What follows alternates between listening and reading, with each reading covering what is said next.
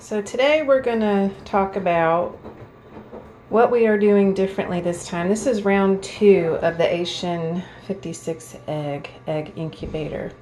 Um, in my previous video, we probably got a dozen chicks out of 56 and something went terribly wrong. 10 weren't fertilized, but the rest of them, I had a couple of dozen that just full term and they died. So I went back to my egg supplier and he told me that the temperature was too high. So I've been doing some research and I've been finding out um, how to avoid that as a repeat.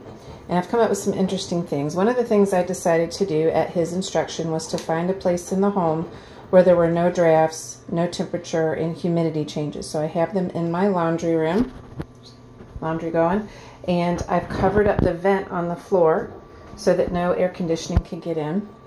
And I've even covered it up because, you know, when a hen sits on her eggs, it uh, makes for a nice dark place. Um, but just for this video, I'm going to uncover and show what we have going on here. So the thing that was paramount for us to figure out was temperature. So we needed to calibrate and find out if that temperature there, 31.6 degrees Celsius, was the actual temperature of the eggs. And so what Jeff did was he drilled a hole in here, put a meat thermometer in there so that we could see the air temperature. All right, and so there is some difference. I'd have to go back and calculate. Maybe I'll put that in description. The difference between like 98 degrees and I actually have this thing set at, let's see, like 36.2 degrees because as we tested, we found out that the temperature inside is optimum. When this thing is in between like 97 and 99 so 98 is really good. And when this is set to 90 or 36.2 now you can imagine when I had it at 38.5 I was frying my little babies. So um, that was way, way, way too high. And what I have also learned is that the egg shell temperature is what you really need to monitor and make sure. And you, when you first put these in, the eggs aren't the same temperature as everything. When you first put all the eggs in, you're going to have a lot of temperature fluctuations. But once, after about 24 hours, once everything settles down, then you want to start making sure. And what the guy that I got my eggs from uh, said was to put one of those little um, temperature, like a thermometer in there that is just the old fashioned kind, one that can just sit down in there and you can just look and see what the temperature is at all times. And what I would add to that is find out what the settings need to be for the eggshell temperature to be 100 degrees. All right, so for mine, it ended up being 36.2 degrees Celsius. Um, I'll have to convert that later. But um, let me take the cover off here and see if I can't show right quick. Yeah, this is hard to do on video. See, it's right at 100. Right at 100 is where we want it. And so the eggshell temperature is much more important. It's the same They've done studies and found out that the embryo is actually at 100 degrees when the eggshell temperature is at 100 degrees. So that is what we are going for.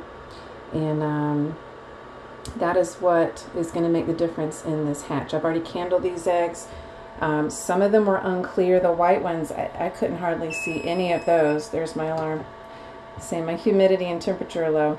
Um, those did not appear to be fertilized at all. All the Rhode Island Reds were, were fertilized. And then I've got these that are kind of a light brown. They seem to be a mix between the white and the brown. Um, those look pretty good too. But I'm going to have to recandle them and then I'll update as we go. But um, I'm still, the jury's out on how this thing is going to do. But I know now that my temperature was way too high and that you need to get, you need to calibrate the thermometer on any incubator with another source, um, uh, some other thermometer to make sure that they match. And then at some point, um, and I use this laser thermometer, to, to, to uh, laser the temperature on um, my eggshells themselves because that is key. All right, so another thing I wanted to add is um, when you're adding water, in order to keep the temperature constant, you want the, the water to be about 100 degrees before you add it. I've been adding it in the side here. There's a little hole right there where I can add it without opening it up and disturbing anything. Um, I just found an egg right there that was gross. So I'm going to have to candle these and see um, what the development is, and then I'll report on that. But um, I wanted to add that uh, you don't want to add cold water to get your temperature or to get your humidity back up because you can see right now with it open it's not at the optimal 55 degrees and the temperature's going down but temporarily to candle them that's fine but anyway add warm water know if you can see this. I'm candling one of the eggs and you can see how it's about half full. That is the chick that is developing. You can kind of see some veins in there, but this is what an egg should look like. We're on day 12 and everything is looking great. I finished candling, turn my candler off, and every single one of the white eggs was not developed.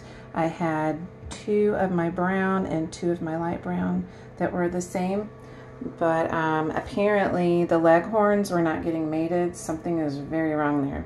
All my Rhodies, my Rhode Island Reds, they're all fertile and growing and beautiful. And um, those are doing well. Make sure when you're uh, touching your eggs that you, your hands are really clean. And I'm actually going to put um, in the description box the methods that I went through. These were poopy covered uh, dirty eggs. And um, some people debate on whether or not you're supposed to wash them. Um, but infection can be a problem if they're covered in poop. They got bacteria on them.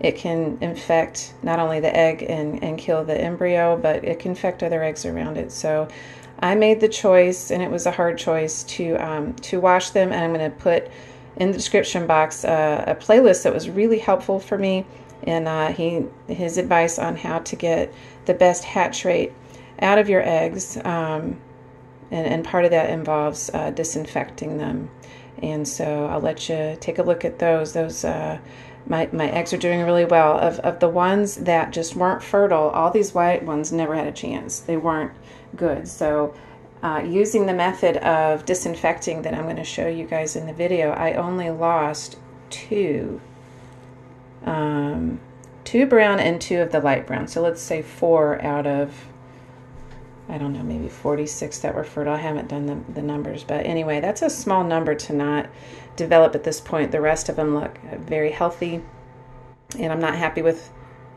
my wet ones not being fertile at all. Oh my gosh, that's such a waste.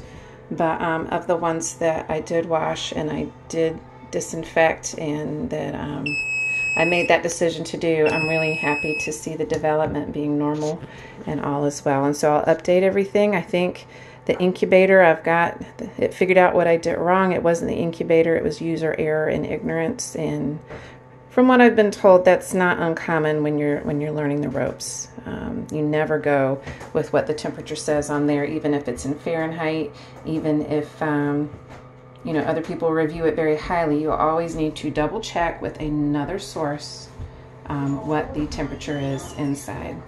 So that's my advice. This is our progress and I will update you in the next video. Bye-bye.